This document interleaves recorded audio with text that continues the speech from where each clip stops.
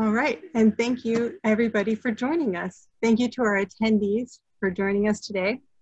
Because this is a webinar, you might not notice, you might notice there isn't a camera option to speak or have your video shared, but we do still want to hear from you. So please feel free to use the chat for introductions, let us know where you're dialing in from, etc.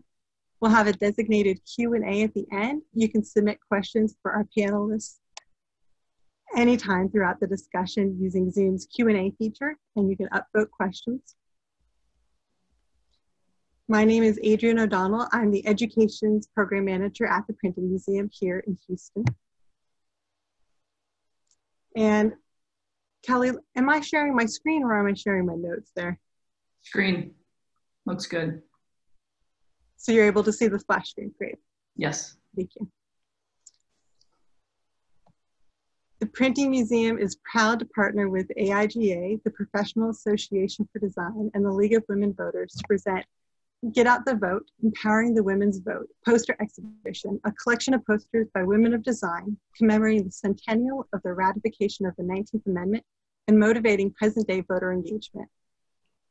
With our partners and other co-exhibiting institutions, we also strive to encourage broader civic participation.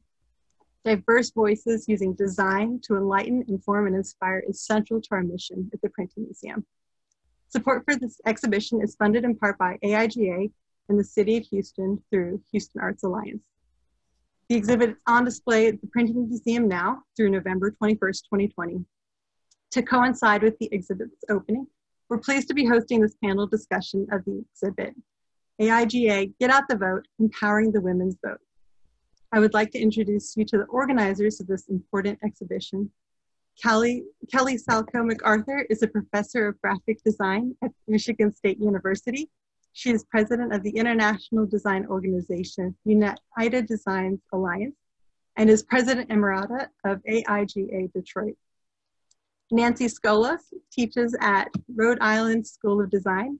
She is an AIGA Fellow, recipient of the 2017 AIGA Medal, and elected member of AGI, the Alliance Graphique Internationale. Together, Kelly and Nancy have invited a core group of 70 women of design to participate in a special poster collection for the exhibition of Get Out the Vote, Empowering the Women's Vote. Today, they join us along with several of the artists participating in the show. We have Kelly Cheng, Professor of Visual Communication Design at the University of Washington. Renee Seward, Associate Professor, Communication Design Coordinator at the University of Cincinnati. And Shanti Sparrow, Australian illustrator, designer, educator, living and creating in New York City. And without further ado, I would like to hand it off to Kelly to tell you more about this project. Okay, I'm going to start sharing my screen. Okay, can everybody see that okay? Mm-hmm. First slide. Thank great. you so much, Adrienne, and thank you to the Printing Museum of Houston and for everybody joining us today on the panel as well as attending to listen. I'm going to start by sharing just a few images and some information about how this project got started. Um, the idea came to me in 2018 when I started reading articles and seeing uh, information that 2020 would be the 100th year of women's right to vote in the United States. It occurred to me that this would be a historic opportunity to unify women in design and uh, work together to uh, share one goal, a civic goal of empowering the women's vote. I also knew at that moment, as I started to dream about this potential project, that Nancy Skolos, one of my all time design heroes in the field of graphic design, would be a perfect woman to partner with on this project. I had been um, lucky enough to be one of her students when I was in grad school at RISD. And she was someone that, that I was totally in awe of before I worked with her. It's been great to work with her on this project. And it's become what it could be because of her involvement. So as I go through these images, Nancy, feel free to jump in at any moment. Thanks, um, as Adrienne mentioned, we started with a, a, list of women that we invited to participate, and we were so grateful that many of them accepted our invitation. Um, those that did also were given the opportunity to invite another uh, woman of design um, in a way to, um, to propagate um, inclusion and mentorship in our community. Let's see. Now, for some reason, I'm not able to forward, so let's see if I can do it manually here. Okay. Um, we've all probably seen images like this of uh, suffragist parades. This one is from 1915 in New York City as women were marching to try to get um, women's voting rights uh, onto the New York uh, state constitution. We can see here that suffragists used visual communication in their movement by wearing white. They recognized that this would stand out in a crowd of dark suits. It was also cheaper than colored fabric. They had an entire color palette that they worked with. The palette of purple, yellow, and white stood for loyalty, purity, and hope. And they were determined to combat their critics' rumors that they were devilish Amazons set to destroy gender, gender hierarchies. Uh, they promised to bring skill and civility to politics and corruption. It had been 42 years since the Women's Suffrage Amendment was first brought to Congress. And on August 18th, uh, Congress decided uh, it, that it came down to one vote uh, of 24 year old Congressman Harry Burns. After a plea from his mother, he actually changed his vote to support suffrage. Uh, the 19th Amendment gave the right of citizens of the United States uh, that they could vote. Uh, the, oh my gosh, I'm really stumbling here, I'm sorry. Uh, the vote should not be denied or abridged by the United States or by any state on account of sex. Of course, by that time, many other countries had already granted women the right to vote, including Australia, Finland, Germany, Canada, Russia, New Zealand, the Netherlands. Um, as Nancy and I started talking about and brainstorming this, this project, this initiative, we recognize that graphic design has consistently been used as a powerful tool in politics. And poster design was oftentimes the format that these messages were shared. So for over 100 years, that's been the case. Uh, a couple cases in point here are a couple of well-known posters that now reside firmly in design history. Through doing research, we've found out that women make up over half of the population in the United States.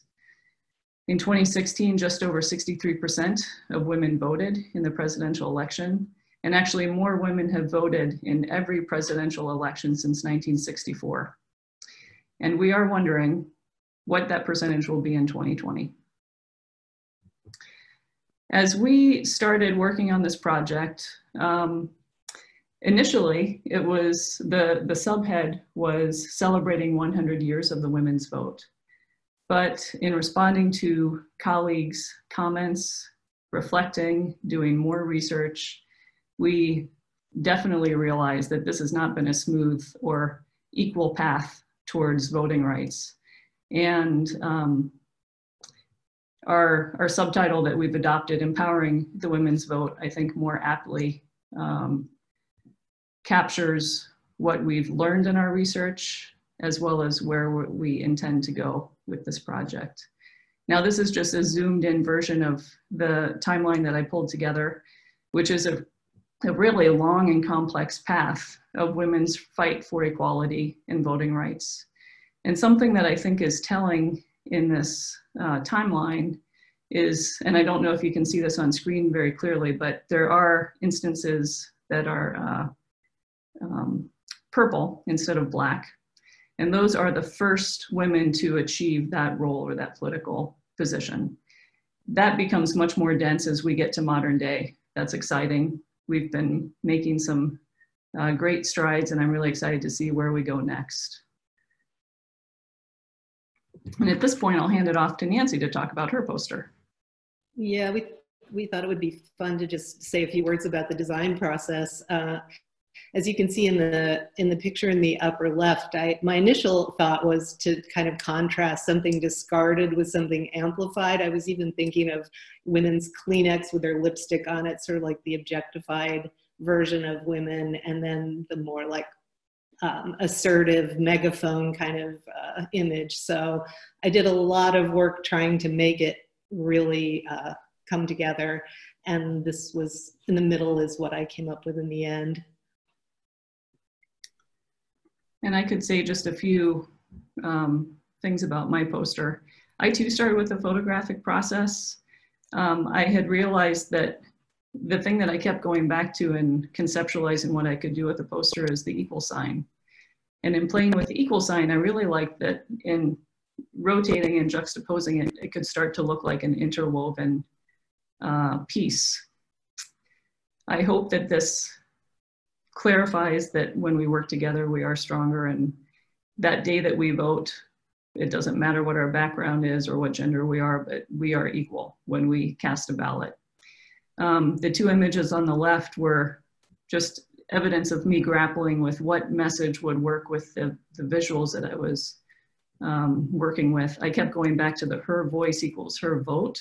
I really liked that message, but you can see in the larger version, the poster that I uh, landed on. Uh, we could not have predicted what 2020 would bring. Our country faces many challenges right now. We do hope that the efforts that we've put into this project contribute to forward motion of our society. The initiative continues at aiga.org forward slash vote.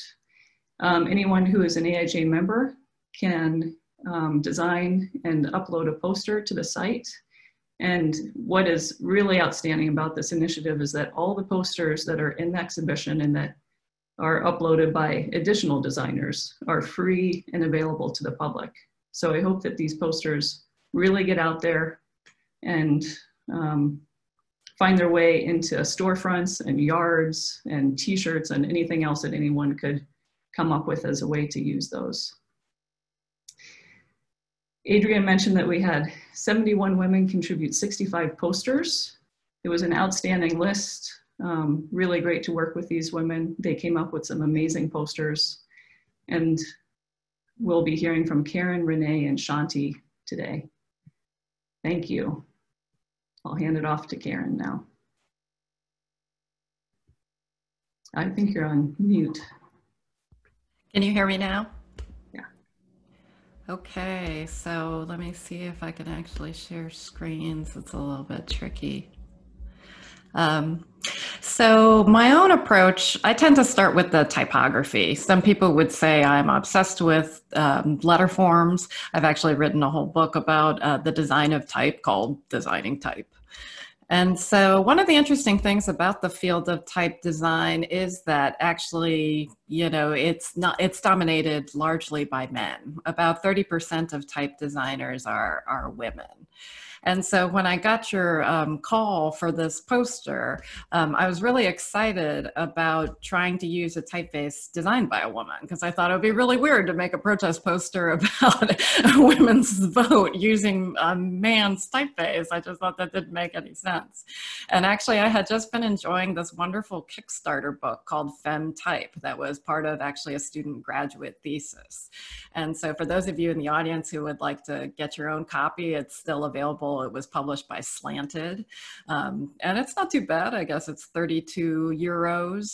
Um, and if that's a little too much, they also published what's called a poster zine, which is kind of, um, you know, a poster that's a folder mailer that has a little bit more information about female type designers. You can see it here. And so you can see the poster zine website. It's a pretty cool thing. Um, so the typefaces I was most interested in after, you know, going through that book was there's this fun typeface by Joanne Olson. And I guess she made this as a parting gift for her employer at a studio. And she describes him as a very tall, thin man. And I guess that's why the typeface is also very tall and thin. Actually, after looking at this typeface, I was like, I have to meet this guy. You know? so it's sort of fun. Uh, but I actually wound up using a typeface by Inga um, that's called Magnet. And actually, um, the typeface is not available yet for re release. It's going to be released by the Hoefler, oh, sorry, the Tobias Frere-Jones uh, Foundry. Um, but I thought it was really interesting because it has both a, black, a back slant as well as a forward slant. And I thought that was really interesting in terms of the left right dynamic, you know, that animates politics now and it's just gorgeous. Um, so if you want to make a typographic poster, obviously you've got to have some type to set. And so I was trying to think of what would be appropriate. And so there's some great women's speeches at suffrage meetings, this one in Omaha. So for a while I tried um, for a long time with some of these quotes. Like I like this, up with the petticoats and down with the pants. especially the parentheses like how, howls of applause you know i thought that was amazing.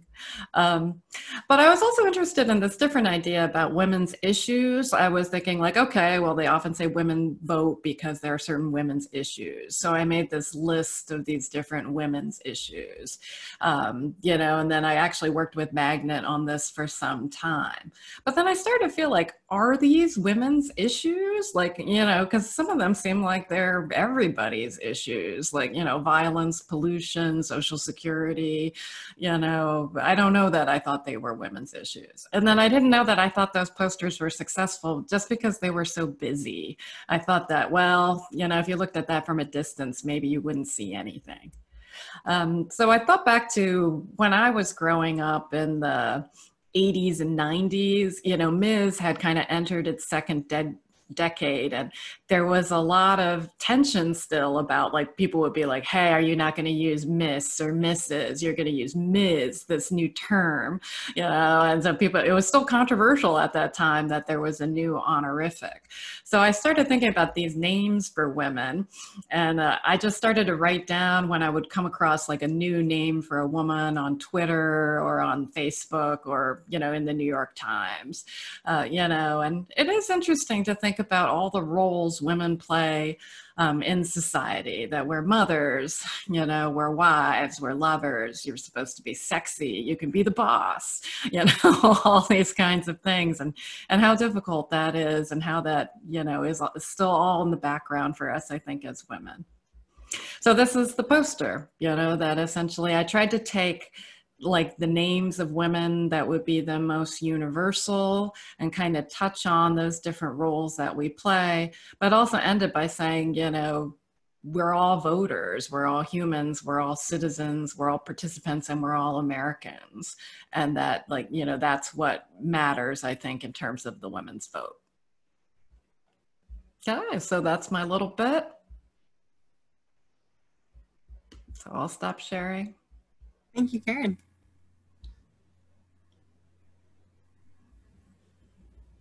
All right, I think I'll go next. Um, so let me just give me a second here so I can share screen.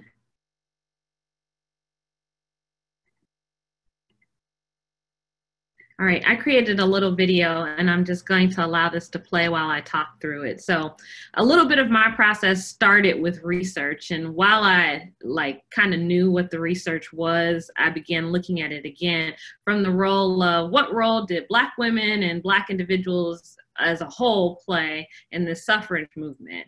And after doing the research again, I became very outraged. And I actually created this poster before George Floyd, um, the tragic events of around George Floyd. It was right after Ahmaud Arbery, um, who was running. And I am a runner. I've been followed before as a runner. And so there was a lot building up from the research and just the things that were going on. Let alone my family has a big role to play in the right to vote in the civil rights movement my great grandmother wrote the We Shall Overcome song for the civil rights movement. And she used her talents in songwriting and singing to play a role in it. And now I'm like, here's my opportunity to say something through what I do as a designer. And so it all built up and it spilled out into a fun make activity. Every aggression and thing that I was feeling, I just started creating things in one day. And at the end of that day, I was like, woof now let's just go eat something, you know, and I left it at the studies. And the next day I scanned them in and I started to try and make sense of them and make sense of the messaging. And there was actually a couple of different visual studies that came out of them and had to step back and say, you know, what am I saying and how am I saying it? the typefaces that I ultimately chose, um, a condensed face. This was not an easy time. It was full of frustration. We couldn't be polite in getting to where we got to. So using the condensed face is what I thought of, but also using a bold weight of that face because you had to be unapologetically fierce in what you were saying. Um, so the final poster that I created, I have to think about I am a woman and then I am black. And as you look at uh, this, Black women played a huge role in the suffrage movement. And at the end of it, were not afforded that role. So their identity of being Black was ultimately the thing that defined them. So in this poster, the Black had to move through and push past the woman's vote in order for us to achieve it, because it took another whole 45 years before we were afforded that right. And so this poster is really targeted to Black women um, letting us know that back then you had to would have had to wait another 45 years before you can affect or have your say and change. And now we don't have to wait another 45. It's time to gather at the polls and it's time to vote because all the fears that we hold and fears for our, our husbands and children's and nephews and things um, in response to everything that's happening in the world right now we need to go to the polls and let our voices be heard. So this is more of an encouragement to let us know that we have that power and we have the power to move forward. So um, I tried to use Ida B. Wells. She played a significant role in the civil rights movement. So I lift as I climb. That's in there. And then I had to put my great grandmother's song, We Shall Overcome, in there as well. So there you go.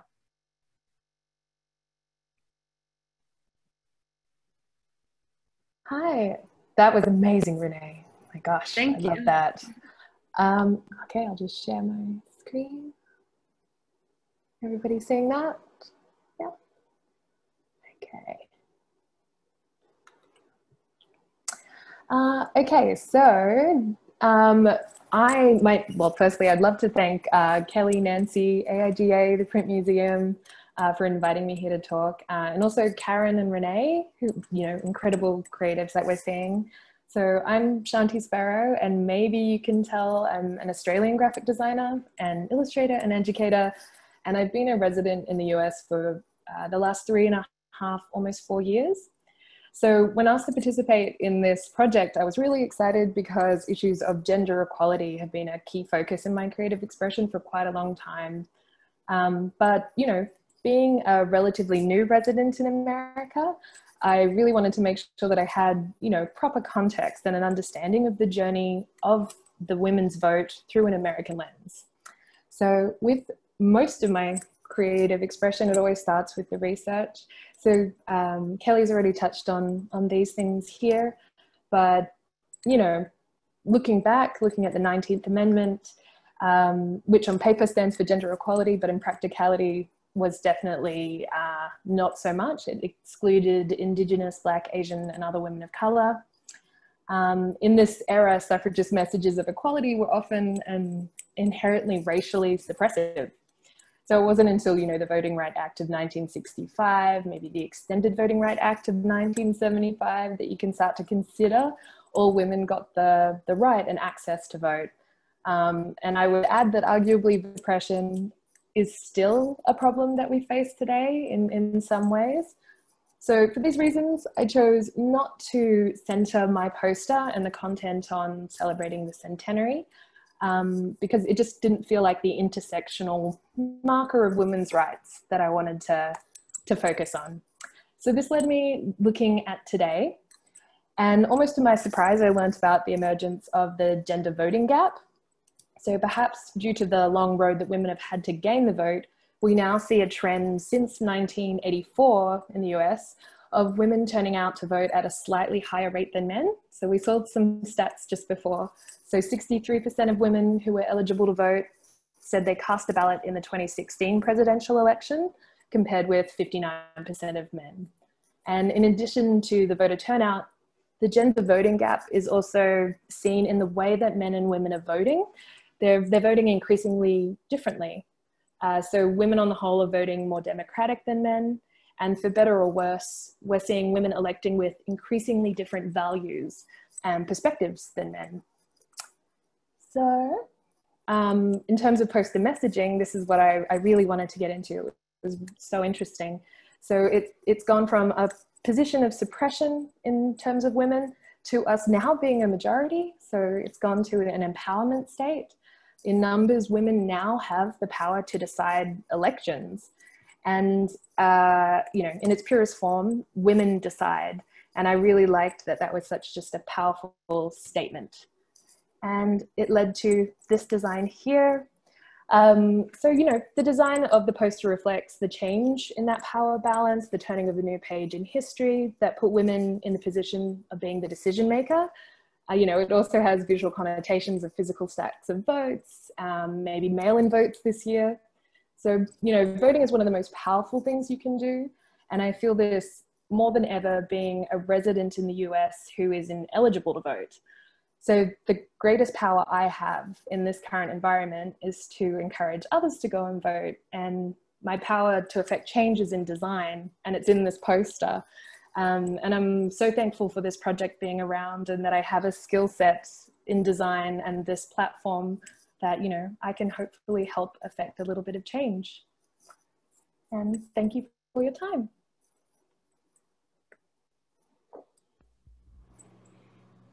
thank you, ladies. Thank you all for sharing. It's been wonderful hearing the designs and the inspiration behind your designs and how they've come together. I'm going to share my screen while if anyone has any questions for the panelists, please pop them into the Q&A and we will get them answered for you. And while we're kind of thinking of those, let me share my screen again and show you guys some of the installations that we have for this exhibit at the Printing Museum, since I know not everybody is dialing in from Houston today. So the Printing Museum uh, is in Houston, Texas. This is the exterior of our building. We've got a great little printing press out front. You can identify us and find us. We have installed this exhibit in our front lobby, in the hallways, and in our galleries. It's a fantastic exhibit where we've been able to print out all of the posters that are in the catalog. If you stop by the printing museum, you're able to pick up a free copy of the catalog. So please do come visit us. This is the front lobby, the entryway, where we have the uh, get out the vote signage at the beginning there and down the hallways. And there you can see Nancy's poster. And then going down the hallway again, where we've got posters on both sides, and this is leading up to the gallery where we also have all of the posters installed. There's 60 plus posters um, that we printed out. And there you can see Renee's poster and Shanti's as well. And there we go. And the posters, as a reminder, are available to download as well, like Kelly said. So I'm just going to leave this slide up here for now um, as we get into the Q&A portion. So we had answered already. Great question was, will the timeline be available to view after the webinar? And so yes, that we've, we've got that available and we've posted a link for that as well. And another one was the webinar, will that be available for viewing later? Uh, we are recording this one so that yes, we can share the recording of this webinar as well. I've been elected to be the Q&A moderator and I see we do have a question in our little Q&A box. Um, someone's asking about the history of um, of women's vote posters over the decades and how the visual design has changed over the years and how the messages have changed. Um, I don't really know specifically about so much about women's voting posters. I, I do have a little of no knowledge about protest art. Um, do you all want to take a, take a spin at this question? Go for it, Nancy. Well, um, one thing one thing that really is was interesting that we didn't realize when we picked these three panelists is all of your designs were typographic you know like um, using the type as the voice. And i think that is pretty common in pro protest art because a lot of it's placards and signs. And i i was doing a little bit of research um, on uh, the the famous "I am a man" poster that was from um, a Memphis strike, like right around um, you know in the in the 60s, and um, it kind of reminded me of Karen's poster because it's a white background with red letters, and the words "M" and "man" are kind of condensed and they rhyme with each other. And it kind of like even though it says "I am a man," it it has that you know that's that essence of i am somebody which i think these women were also in that that same kind of arena where they felt like they weren't they didn't exist or they didn't have any kind of like value or voice so um, and i was reading that those posters no one really knows who designed them they think maybe it was like somebody at the printing company but if you can find one now, they go for auction at like $34,000. Yeah. So anyway, that's kind of an interesting history. Um, let's see. That's like the most famous one I can think of. Do you guys have other ones? I think it's been interesting to just to do research and look back at all these old photographs of marches and the the strong messages that these women were printing on these handmade and hand painted you know signs. Um, really empowering and, and really pushing. There was nothing shy about what they were doing back then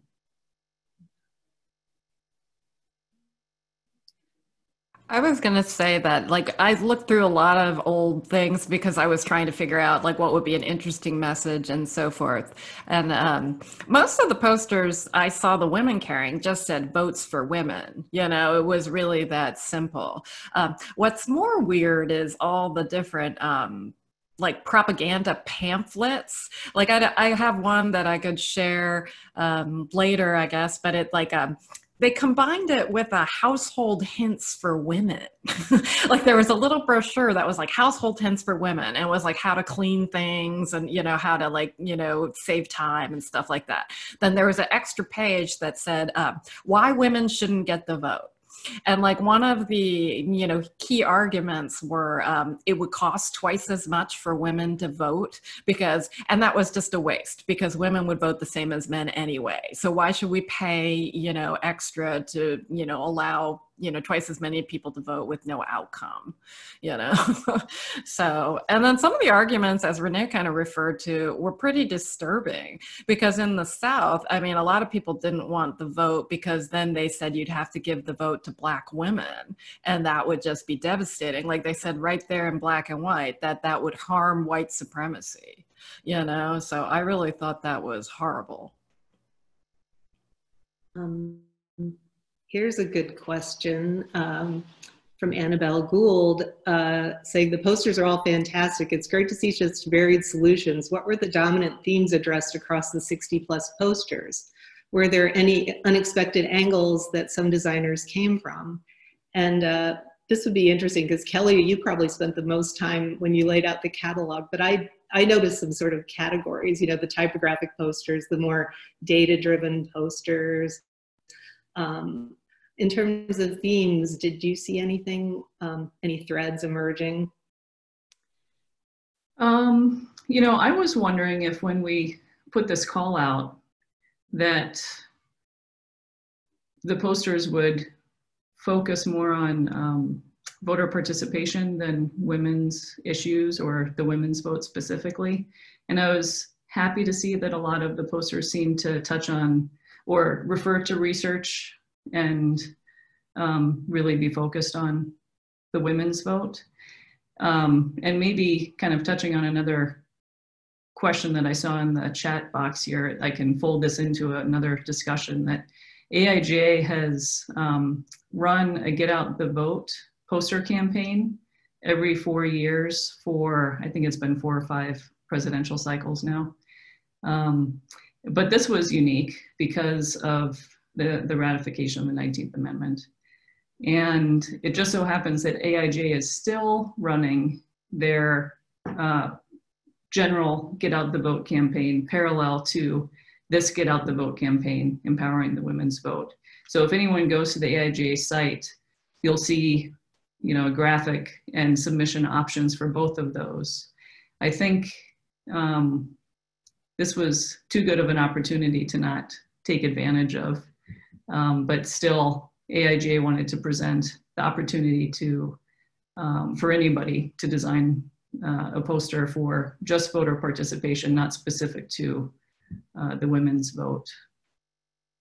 Yeah, and someone's asking um, if the catalog was organized thematically, and Kelly and I debated about that, and we decided to just do alphabetical order. Leave us out of it. yeah, because you know, as all posters do, some of them sort of clashed with each other, and we thought, well, you know, maybe a chance operation of just the alphabet would be the best bet. The, the only instance where we broke out of the alphabetical order was by putting Francis Ilana's uh, poster on the back cover, which was like two away from, well, one away from being the last one alphabetically, but it was such the perfect closing message because uh, Francis did a hand painted sign that actually ended up looking very historic to me. Um, it said, a woman's work is never done. And as you close the catalog, it, it is a nice way to end that, yes, this is one chapter, but we have a lot of progress to make still. And, you know, where will we go next? And I also, I have to say, it has been so um, eye-opening and enriching to have worked with the women who did contribute posters and bring their own perspectives and their own personal narratives. And, uh, you know, I, I, think we've uncovered and helped give um, attention and visuals to the, the struggles that different groups have faced. I think Renee's presentation hit that on the head very clearly, and I so appreciate that. That is, that's a conversation we need to be having.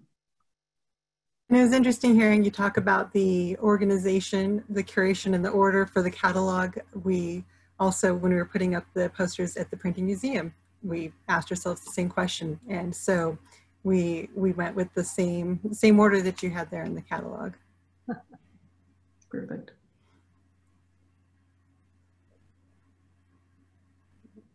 Um, do we have, I'm not sure how much time there is left. I can introduce another question. Um, I, I, I really love the aspect of the project that Kelly mentioned where we were we were excited to work together as a community of women designers sort of you know mentoring and connecting with each other i wondered if you guys have any like important mentors women mentors and from your background your education i mean it's really wonderful renee that you're grandmother wrote that song that's so amazing.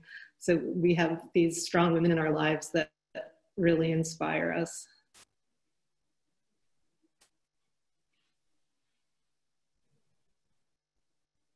Um, and also maybe, uh, let's see, um, let's see if there are any other questions in here. We had a printing museum question that I'd be happy to answer, which was when, how can I come visit you? And so that one I can handle. We are open from Thursday, Friday, Saturday from noon to 4 p.m.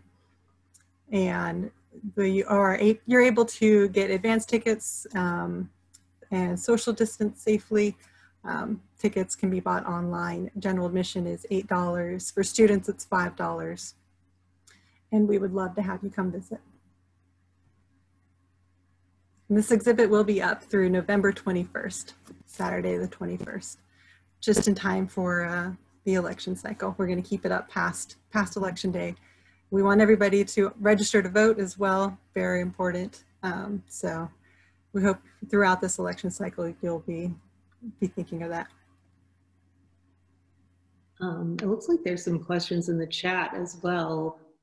Um, they're asking if we researched the voting rights in other countries. Um, so that was interesting. We thought about maybe putting some of that in the catalog. Um, and actually, Nancy, when we first started brainstorming about this way back, you and I were talking about whether we should open it up internationally or not, or if we should keep it to women in design in the United States, and we decided to keep it in the United States just because this was, you know, where the presidential election will be happening in 2020, November 3rd. Yeah.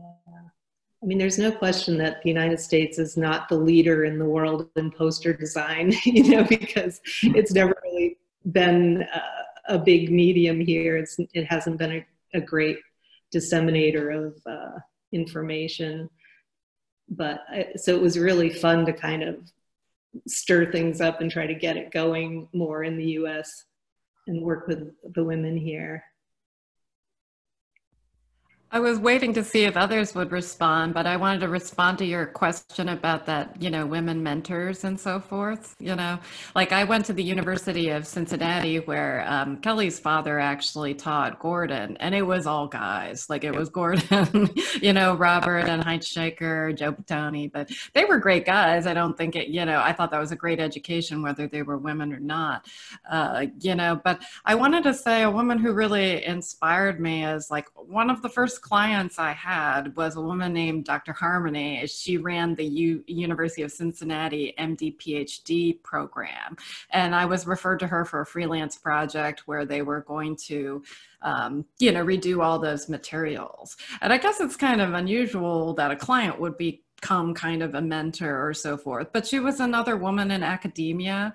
I would say she was probably in her late 40s, early 50s when I met her, and I was in my mid 20s, you know, and she was so supportive and great and interested in design. And I thought all clients would be like that.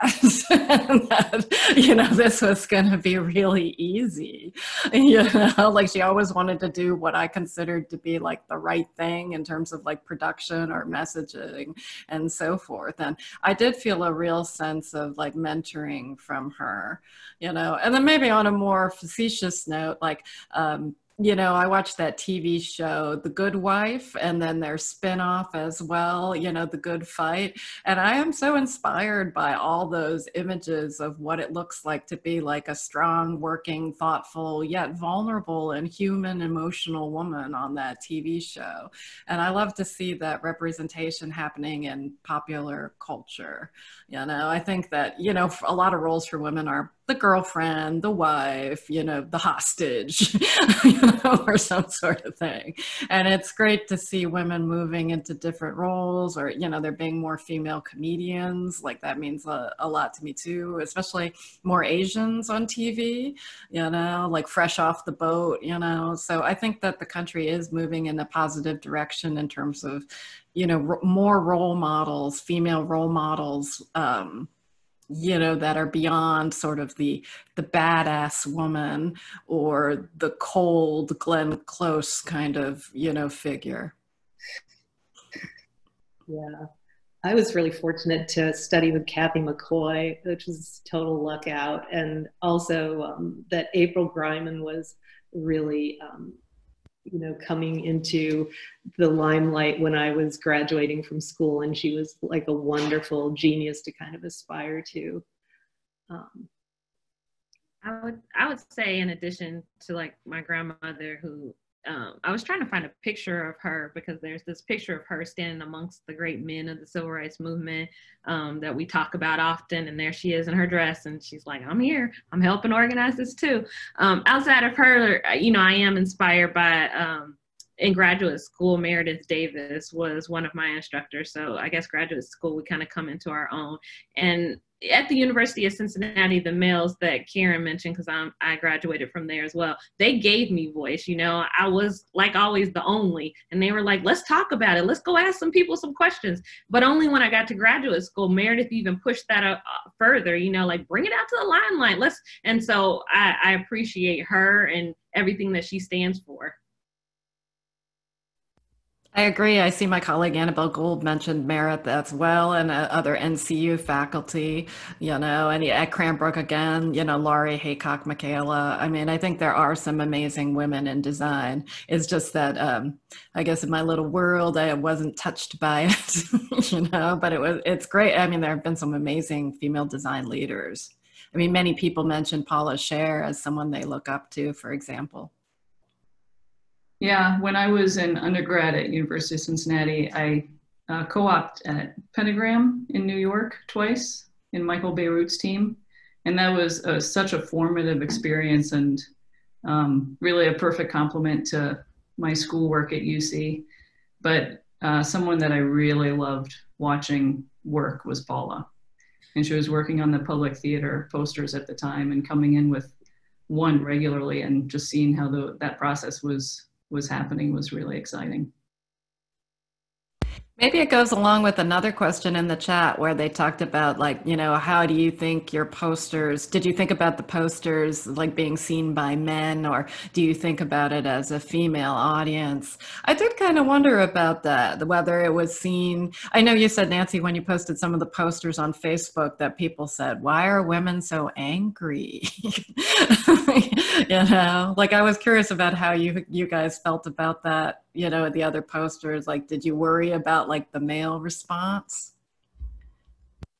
I'm hoping that a lot of men will contribute posters on the AIGA site. Nancy what do you think?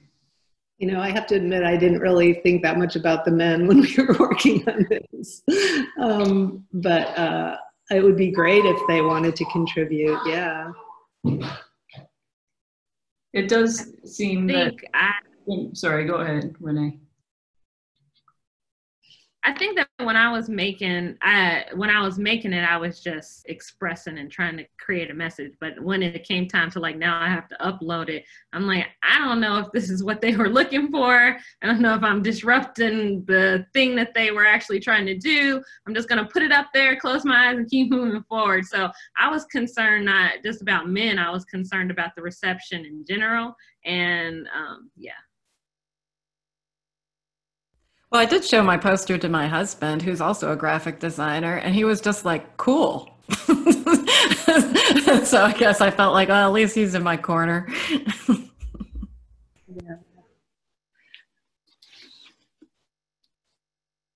I have a question maybe for the other panelists. Um, from what I can tell, what we've just participated in is somewhat historic. Have any of you heard of anything like this occurring in the past with women in graphic design merging together for one one effort, one goal? I took it out of my um, slide deck because I couldn't make it quite fit in, but there's a wonderful group of women in type design called the Alphabettes. You know, so it's B E T T E S. You know, the Alphabettes, and you can go on their website. It's it's less graphic design oriented and more type design oriented, but they do try to basically elevate the voices of female type designers, and I found that to be like a wonderful community. You know, they're just um, um, it's it's very like sisters. I mean I, I was in the femtype book that was brought up just before and i remember that feeling pretty special and really inclusive and it it really helped me you know find a community and and network in, in that way. So that that was pretty special. I do hope that um, there will be less and less need to categorize designers in the future. You know, the the fact that there's a, a woman of de, women of design book says a lot to me. There doesn't have to be a men of design book because that's what all the books are, right? So, and there could be a black women of design book, but there shouldn't be. You know, there. I really want this uh, where where we're headed now to be more inclusive and more diverse and and uh, support everyone. Um, there's a question about um, process, like asking if designers still uh, hand draw or silk screen posters or if it's all done on computers. And I, I think if you look closely at the collection we have, there are there is kind of a range of ways people produce these things. Some were like photographic collages, and um, some were more um, more computer uh, assembled, but uh, I feel like there was a really unique process to almost every single one of them. Um, you know, if you look at Susanna Lichko, she was like working with geometry and pattern. Uh, I think it's a really rich uh, range of of um, methodologies, like and and I think the process for a lot of people does still involve a lot of handwork. Um, just depends I, I'm a real, I think we all love graphic design because we love doing it and we love the whole process. So that's a great question. Do you guys want to chime in on that? Um, like Shanti, I'd be interested in your process because it looked like um, a very computer um, finished piece, but what did you use a certain type of like 3D software or something? Uh, no, I mean 3D is something I definitely would love to to learn more about. Um, mine is really really simple techniques in Illustrator to create that sort of 3D effect. Uh, yeah, I I mean, seeing all of the handmade posters uh, that were presented today, I'm almost jealous that I didn't you know set it up and shoot it. But yeah, it was all digital on my end. Uh, it doesn't look simple to me, so it'll be simple to you. Uh, um, Kelly, was you did obviously yours was a sort of a photographic weave of paper, right? And then you you did the graphics on top of that. Yeah, yeah. So I started with photographs of yeah the woven piece and tried a bunch of different points of view and shading and as I brought it into the poster format on screen, I was figuring out the crop. And pretty quickly, if I, I realized if I would tilt the perspective, I would lose the legibility of that weave. So I had to keep it flat to the picture plane. And then was working with bringing the type and the color on through Illustrator on top of that. But I definitely try to work with my hands as much as possible. And those were very, those, that was a lot of strips cut very precisely. That's right. I was wondering, Nancy, just because, like, you know, you're part of a famous duo, you know, um, with your husband. Did you consider, you know, working with him on it, or were you like, yay, you know, by myself? I thought it would be breaking the rules if I worked with him on it, so I, I didn't really let him, you know, help me. Except he did sort of click the shutter when we photographed the final thing. Mm-hmm. So, um, but yeah, it was kind of weird to work by myself. And I've also been putting together um, sort of an archive of our work. And as I've been doing it through the decades, I've realized that, you know, that it's not like a 50 50 on each piece. You know, I wanted to almost put the percentages on each page, like some are like 90% him and 10% me and vice versa. I mean there's there aren't that many that are exactly 50 50 so i think that's what's with a with a really strong collaboration you just have to know who has the better idea and just run with it and not worry so much about homogenizing it as a peer collaboration. So it was fun to work by myself actually. Uh, so um, Uh, Karen, I really enjoyed uh, reading your blurb about your process that's on the AIGA website. And, um, you know, just that whole idea of the complexity of ro the roles women have and all the stuff we're supposed to negotiate and, and kind of that with this, with this empowerment, there's also a lot of complexity and responsibility. And I thought that really made the poster even more powerful thinking about that. Oh, well, thank you. Yeah, it seems a little whiny doesn't it? Like we have all these options now, you know, but it is, I do feel it's a challenge to wear so many hats. I think the interesting thing though is like, as we've, you know, I'm the old person now in our faculty group because Chris Zipko retired. And so I'm 50 now, along with like my other colleagues, um, you know, are entering that. And you see some of the younger faculty who come on, especially men, like they take much more responsibility for parenting and for being you know, part of the home, you know. So I do think that's an encouraging trend. And maybe they also experience some of that like mental hat shifting as well, you know, like, so I don't know. We don't have the answer maybe to, um, how should we parent? you know, I still think that's such a dominant part of, you know, being a working woman today, managing that issue. So are you a parent?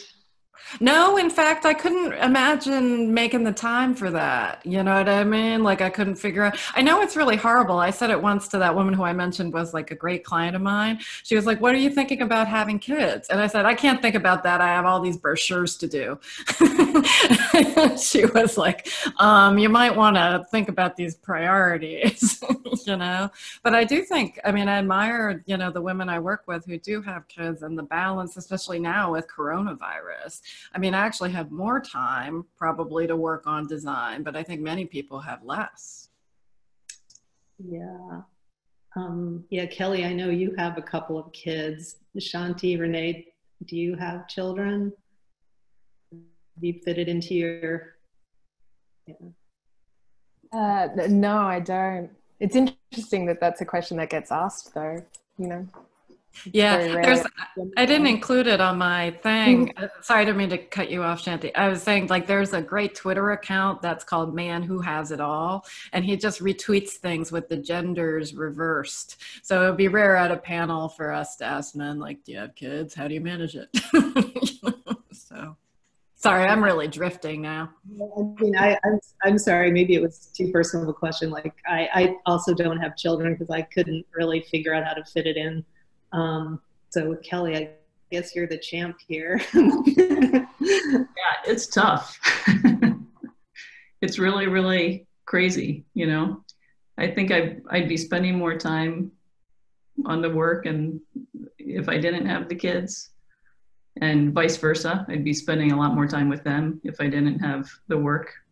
Um, but it's quite a balancing act, that's for sure. I like to say that having kids is my most challenging design project to date. Do they bring inspiration from, you know, to the process through what, what kind of things they're doing? Um, maybe not so much them bringing inspiration as much as um, me having them do projects sometimes. So if, you know, they'll be interested in what I'm doing and they'll come hang out behind me and get in my area and mess with my stuff. And so I have to give them the, the project prompt that I'm working on and see what they come up with. So hmm. they've designed some animal icons that are pretty good. They've made some monoliths for spatial design. Um, they might be little designers in the making, actually. That's so cute. And the woven piece that I put in my poster, they ended up making it into a Father's Day card. Oh, I'm curious about that, Kelly. Like, did you try other things besides paper? I was kind of wondering about that. If you would try ribbon, like I was kind of thinking if Nancy would do it. I mean, Nancy's kind of famous for like you know physical um, collaging like that. You know. Yeah, I was thinking about the materials and knowing that whatever material I chose would have an implication in terms of meaning. Yeah. And yeah. So I wanted to be very careful with that. Um, yeah so I, I thought paper would be would give me a blank slate you know in terms of like them being able to bring the context onto it in illustrator but you're right yeah, that makes sense. I was wondering whether you were inspired by the sashes that the suffragettes wore. You know, like I thought that was kind of an interesting allusion to it. You know, or even that weaving is kind of a woman's work type thing as well. I did think of, I did think of that. Yeah, that this would kind of be a home craft kind of uh, implication. Yeah, or I thought about it could be done with pie. I've tried to make pies several times where you weave the crust, but they're never successful. so, but I thought it would be interesting to use something physical. Yeah. Yeah. Well, thank you all so much. I'm just cognizant of time and I appreciate that you've joined us here for your lunch hour today. Um, if you're in Houston, come visit us at the Printing Museum. We're open Thursday through Saturday from noon to 4 p.m. And if you're not in Houston, I did want to mention that this exhibit will be out on display in other locations. And so you can see it at Carnegie Mellon's Institute for Contemporary Art in Pittsburgh, Michigan State University's Union Art Gallery, the Contemporary Museum of Contemporary Art in San Diego, California, the RISD Museum in Providence, Rhode Island, Theater Squared in Fayetteville, Arkansas, and other institutions. Keep an eye out. Well, thank you so much. Thank you. Thank you, ladies, for joining us. It has been an inspiring panel. We are so honored to have you today. And thank you. And everybody go out and vote. Yeah. Absolutely. Thank you. All right. Thanks.